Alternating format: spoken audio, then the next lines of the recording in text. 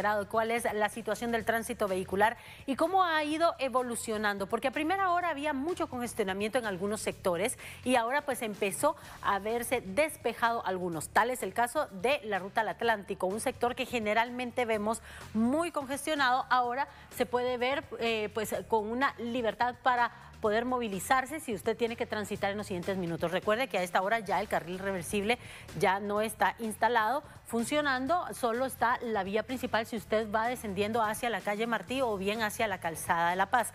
En este momento fluyendo bastante bien en ambos sentidos, ninguna complicación para poder desplazarse en una de las rutas más transitadas. Acumulación de vehículos se podría encontrar en algunos sectores que están ya como las principales calles de salida de las colonias que están ubicadas dentro de la zona 18. La que sí mantiene carga vehicular es la calzada de La Paz. Si usted se dirige, por ejemplo, a Cuatro Caminos, puede observar aquí la acumulación de vehículos que viene de zona 16, también algunos que vienen de la ruta al Atlántico y se incorporan hacia este punto.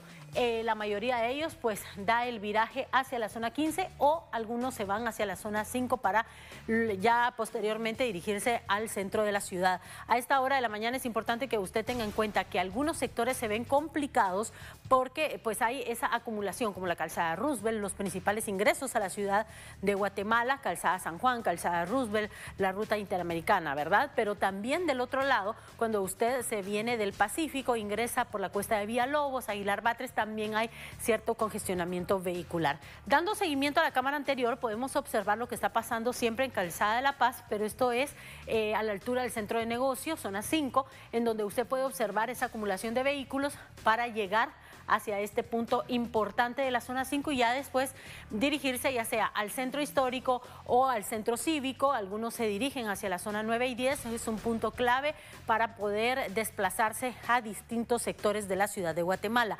A esta hora pues eh, ya empieza a tener eh, digamos un poquito más de libertad en la movilización porque anteriormente veíamos que este punto específicamente estaba completamente abarrotado y la lentitud era mucho más marcada de lo que podemos observar a esta hora de la mañana cuando son las 8 con 22 minutos. Vamos eh, dando un vistazo general a distintos puntos para que usted pues esté pendiente de qué es lo que está pasando. Por ejemplo, en la calzada San Juan, si usted puede notar a esta hora, pues ya el sector de la Doroteo Guamuch Flores, que tiene por cierto el alto en este momento, por eso están detenidos los vehículos, pues empiezan a incorporarse hacia la vía principal que es la calzada San Juan. Ya le decía que todos los que vienen del área de Misco, de todo este sector que se incorporan a esta importante ruta eh, con dirección hacia el Trébol, pues ya a esta hora presentan bastante, bastante movimiento vehicular, pero es una carga en donde usted puede observar que a pesar que hay carga, empieza a desplazarse y a esta hora todavía está funcionando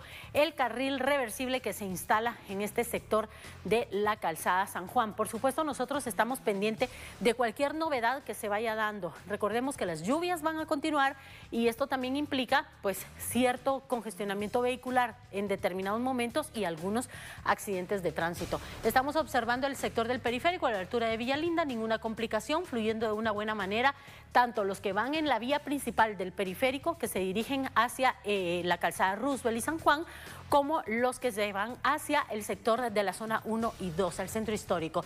En este momento circulando todos los que vienen de este sector de Tulamzú, de, de todo el punto de Misco, incluso que ingresa por este importante eh, sector. Pues aquí el desplazamiento libre, hay novedades que se han ido brindando. Por cierto, déjeme comentarle que nos ha llegado información acerca de que varios motoristas pues han derrapado, por lo menos en la octava calle y calzada Atanasio Tzul en la zona 12, y esto es tras la lluvia que se ha presentado. Y de esto específicamente y otros detalles nos informa a continuación Amilcar Montejo, a quien le damos los buenos días.